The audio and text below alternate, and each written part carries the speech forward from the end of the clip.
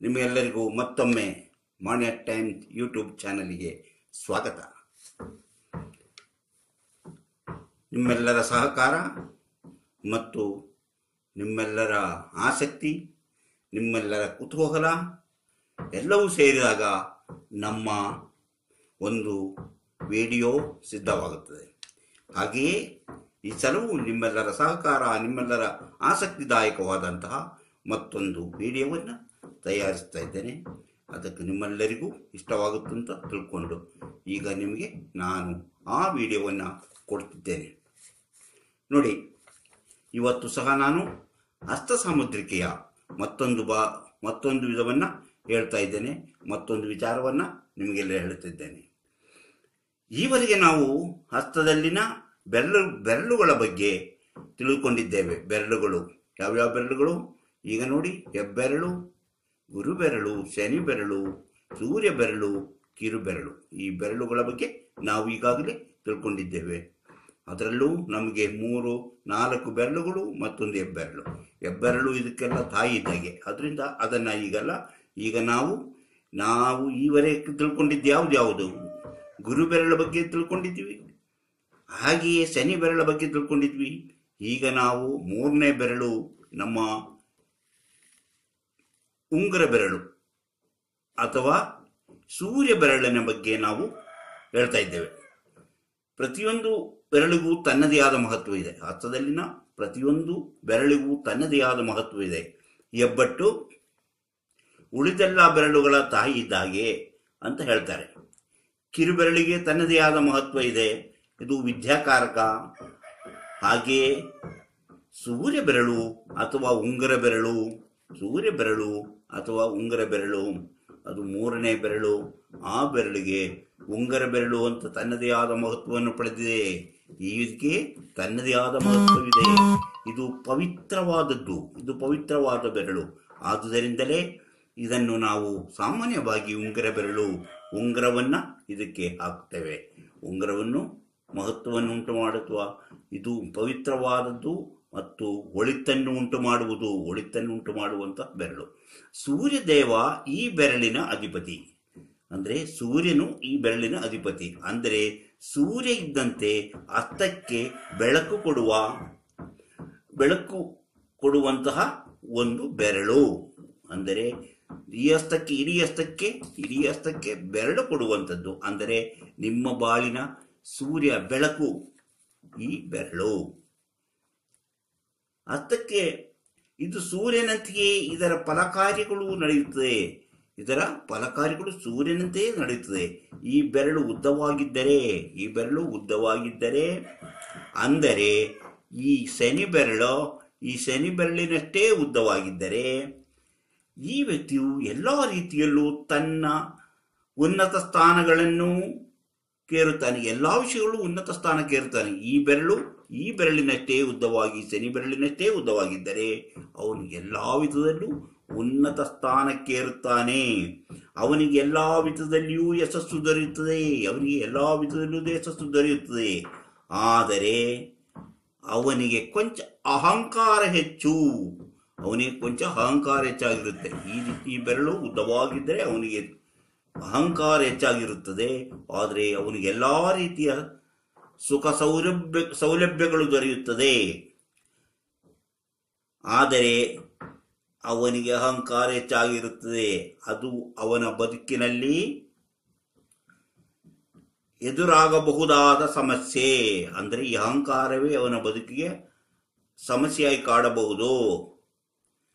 ಆದರೆ ಆ ರೀತಿಯ ಉದ್ದವಾದಂತಹ ಬೆರಳು ಇರುವಂತಹ ವ್ಯಕ್ತಿಗಳು ತುಂಬಾ ವಿರಳ, ಅಪರೂಪಕ್ಕೊಮ್ಮೆ ಅಪರೂಪಕ್ಕಾಗಿ ಕಾಣಿಸ್ತಾರೆ. ಅಂದರೆ ದೊಡ್ಡ ದೊಡ್ಡ ವ್ಯಕ್ತಿಗಳಾಗಿ ದೊಡ್ಡ ಹೆಸರು ಮಾಡಿರೋ ವ್ಯಕ್ತಿಗಳಲ್ಲಿ ಈ ತರ ಕಾಣುತ್ತೆ. ಆದರೆ ಅಂಥ ವ್ಯಕ್ತಿಗಳು ಬಹಳ ಅಪರೂಪವಾಗಿರ್ತಾರೆ. ಉಂಗರ ಬೆರಳು ನಡು ಬೆರಳಿನ ಉಗರಿನ ನಡು ಬೆರಳಿನ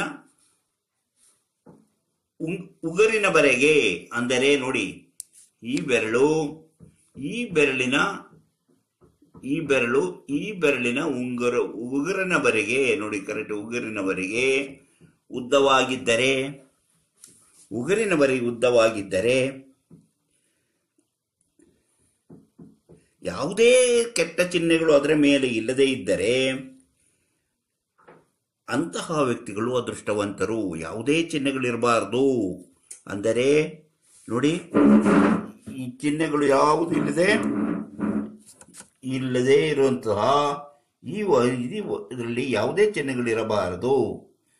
ಯಾವುದೇ ಚಿಹ್ನೆಗಳಿಲ್ಲದೆ ಅದರಷ್ಟೇ ಉದ್ದವಾದಂತಹ ಬೆರಳುಗಳಿದ್ದರೆ ಅವನು ಅದೃಷ್ಟವಂತರು. ಆದರೆ ಅಂತಹ ಬೆರಳಿನಲ್ಲಿ ಯಾವುದೇ ದೋಷ ಚಿಹ್ನೆಗಳು ಇರಬಾರದು. ಯಾವುದೇ ದೋಷ ಚಿಹ್ನೆಗಳು ಇರಬಾರದು. ಅಂತಹ ಉತ್ತಮ ಬೆರಳಿನವರಿಗೆ ಅದೃಷ್ಟ ಒಲಿಯುತ್ತದೆ. ಅಂತಹ ಉತ್ತಮ ಬೆರಳಿನವರಿಗೆ ಅದೃಷ್ಟ ಒಲಿಯುತ್ತದೆ ಬಾಳು ಬಂಗಾರವಾಗುತ್ತದೆ. ಸೂರ್ಯ ಬೆರಳಿನಲ್ಲಿ ಅಥವಾ ಉಂಗರ ಬೆರಳಿನಲ್ಲಿ ಚೌಕಾಕೃತಿಯ ಚಿಹ್ನೆ ಇದ್ದರೆ, ಚೌಕಾಕೃತಿಯ ಚಿಹ್ನೆ ಇದ್ದರೆ, ಚೌಕಾಕೃತಿಯ ಚಿಹ್ನೆ ಇದ್ದರೆ, ಈ ಚೌಕಾಕೃತಿಯ ಚಿಹ್ನೆ ಇದ್ದರೆ ಧನಾಗಮನ, ಅವರಿಗೆ ಧನ, ಧನಾಗಮನ. ಮತ್ತು ಯಶಸ್ಸು ಇದು ಇದ್ದರೆ ಈ ಕ, ಬೆರಳ ಮೇಲೆ, ಈ ಇದ್ರ ಮೇಲೆ ಇದ್ದರೆ ಅವನಿಗೆ ಯಶಸ್ಸು. ಬಾಳಿನಲ್ಲಿ ಸಂತೋಷ ಬಾಳಿನಲ್ಲಿ ಸಂತೋಷ ಇದ್ದಿದ್ರೆ ಬಾಳಿನ ಸಂತೋಷ ಸೂಚನೆಯಾಗಿದೆ.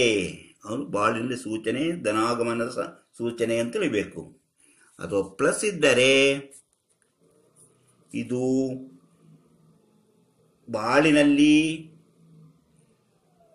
ಕಪ್ಪು ಚುಕ್ಕೆಯಂತೆಯೇ ದುರಂತ ಸೂಚಕ. ಕಪ್ಪು ಚುಕ್ಕೆಯೂ ಸಹ, ಇದು ಸಹ ದುರಂತ ಸೂಚಕಗಳು. ಈ ಪ್ಲಸ್ಸು, ಈ ಚುಕ್ಕೆ ಕಪ್ಪು ಚುಕ್ಕೆ ಬಾಳಿನಲ್ಲಿ ದುರಂತ ಸೂಚಕಗಳು. ಆದರೆ ಈ ಕಪ್ಪು ಚುಕ್ಕೆ ಇದೆಯಲ್ಲ, ಕಪ್ಪು ಚುಕ್ಕೆ ಬೆರಳು ಅಥವಾ ಬೆರಳಿನ ಹಿಂದೆ ಉಗುರಿನ ಮೇಲೆ ಇದ್ದರೆ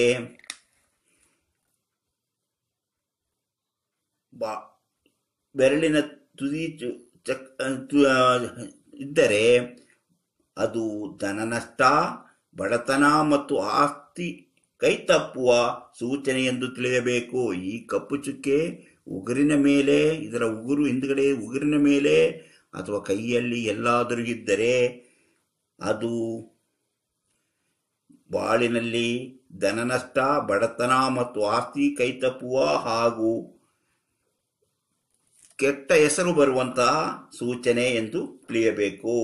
ಅಂದರೆ ಇದಕ್ಕಿದು ಆಪೋಸಿಟ್ ಇದಿದ್ದರೆ ಏಳ್ಗೆ, ಸಂತೋಷ, ಎಲ್ಲವೂ ನಡೆಯುತ್ತದೆ ಆದರೆ ಇದಿದ್ದರೆ ಎಲ್ಲವೂ ನಷ್ಟ. ಇದು ಸಹ ನಷ್ಟ ಸೂಚಕ ಬಿಳಿ ಚುಕ್ಕೆ ಇದ್ದರೆ ಒಳ್ಳೆ, ಒಳ್ಳೆಯದು. ಒಳ್ಳೆ ಬಿಳಿ ಚುಕ್ಕೆ ಬೆರಳ ಮೇಲೆ ಇರಲಿ ಅಥವಾ ಉಂಗುರದ ಉಗುರಿನ ಮೇಲೆ ಇರಲಿ, ಅದು ಒಳ್ಳೆಯ ಸೂಚನೆ. ಹೀಗೆ ಇದ್ದರೆ ಅದು ಒಳ್ಳೆಯ ಸೂಚನೆ. ಯಶಸ್ಸು,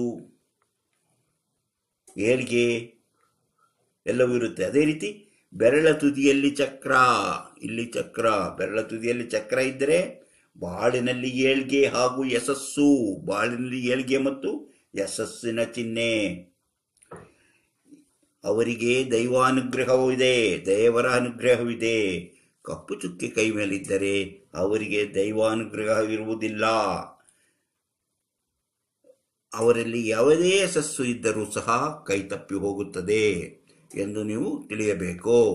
ಈಗ ನಾವು ಈ ಸೂರ್ಯ, ಈಗ ಈ ಸೂರ್ಯ ಬೆರಳಿನ ಬಗ್ಗೆ ನಾವು ಸಾಕಷ್ಟು ವಿಷಯ ತಿಳ್ಕೊಂಡಿದ್ದೀವಿ.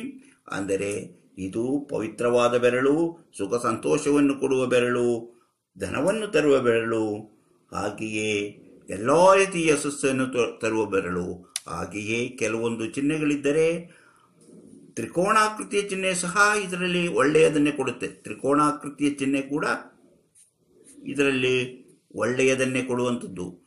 ಆದರೆ ಕಪ್ಪು ಚುಕ್ಕೆ ಮತ್ತು ಈ ಪ್ಲಸ್ ಇದೆಯಲ್ಲ ಅದು ಜೀವನದಲ್ಲಿ ಕಷ್ಟ ನಷ್ಟಗಳನ್ನು ತರುತ್ತದೆ. ಇದು ಪವಿತ್ರ ಬೆರಳು. ಪವಿತ್ರ ಬೆರಳಿಗೆ ನಮಗೆ ಎಲ್ಲ ರೀತಿಯ ಅನುಗ್ರಹವನ್ನು ಕೊಡುವಂತಹ ದೈವಾನುಗ್ರಹವನ್ನು ಕೊಡುವಂಥ ಶಕ್ತಿ ಇದೆ.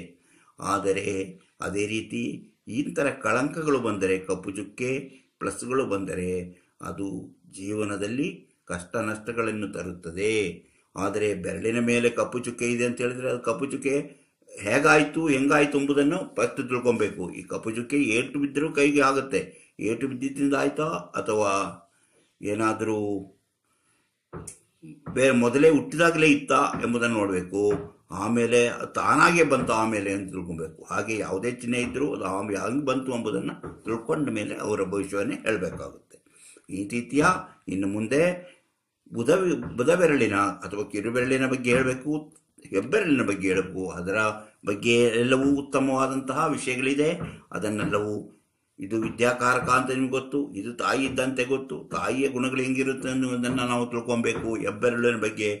ಆ ರೀತಿ ಇನ್ನೂ ಹಲವಾರು ವಿಷಯಗಳು, ಹತ್ತಾರು ವಿಷಯಗಳು ಹಸ್ತ ಸಾಮುದ್ರಿಕೆಯಲ್ಲಿ ಬರುತ್ತದೆ ಹಸ್ತ ಸಾಮುದ್ರಿಕೆಯನ್ನು ನೀವು ವಿಚಾರ ಮಾಡಿ, ನೀವು ತಿಳ್ಕೊಂಡು ಇದೊಂದು ವಿಚಾರವಾದ ಇದು ನಿಮ್ಮ ವಿಚಾರವಾಗಿ ನಿಮ್ಮದೇ ಆದಂತಹ ಸ್ವಂತವಾದ ಅಭಿಪ್ರಾಯವನ್ನು ನೋಡಿ ಕಲಿತು ತಿಳ್ಕೊಳ್ಬೇಕಾದಂಥ ಒಂದು ವಿಚಾರ.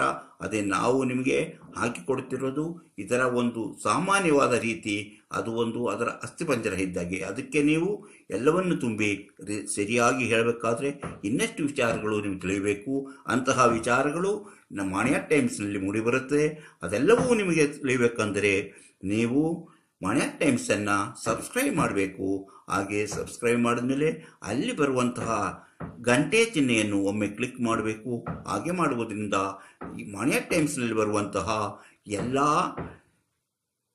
ವಿಡಿಯೋಗಳು ನಿಮಗೆ ನೋಟಿಫಿಕೇಶನ್ ಮೂಲಕ ನಿಮ್ಮ ಮೊಬೈಲ್ ಮೊಬೈಲ್ ಅಥವಾ ಡೆಸ್ಕ್ಟಾಪ್ ಅಥವಾ ಲ್ಯಾಪ್ಟಾಪ್ ಮೂಲಕ ನೀವು ನೋಡಬಹುದು. ಅದಕ್ಕಾಗಿ ನೀವು ಇದನ್ನು ದಯವಿಟ್ಟು ಮನೆಯ ಟೈಮ್ಸನ್ನು ಸಬ್ಸ್ಕ್ರೈಬ್ ಮಾಡದೇ ಇರುವವರು ಮಾ ಸಬ್ಸ್ಕ್ರೈಬ್ ಮಾಡಿ. ಹಾಗೆ ಒಮ್ಮೆ ಸಬ್ಸ್ಕ್ರೈಬ್ ಆದ ಸಬ್ಸ್ಕ್ರೈಬ್ ಮಾಡಿದವರು ಮತ್ತೆ ಸಬ್ಸ್ಕ್ರೈಬರ್ ಆಗಬೇಕಾದ ಅವಶ್ಯಕತೆ ಇಲ್ಲ.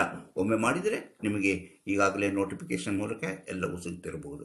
ಹಾಗೆ ನಿಮಗೆ ಇಷ್ಟವಾದರೆ ಲೈಕ್ ಮಾಡಿ, ಹಾಗೆ ಶೇರ್ ಮಾಡಿ ಎಂದು ಹೇಳುತ್ತಾ ಇಂದಿನ ಈ ಕಾರ್ಯಕ್ರಮವನ್ನು ಮುಗಿಸುತ್ತಿದ್ದೇನೆ. ಧನ್ಯವಾದಗಳು.